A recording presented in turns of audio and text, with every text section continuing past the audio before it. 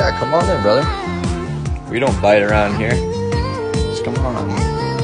Dude, I need to get in there and get my socks.